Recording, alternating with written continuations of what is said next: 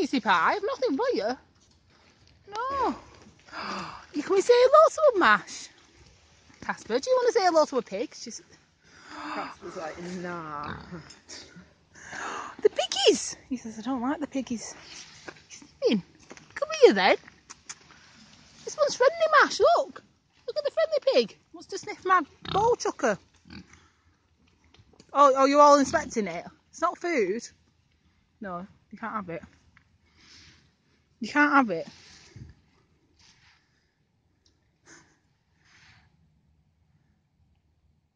Oh, look at your beaky ears. You're that cute. Oh. Hello? Why are they so big?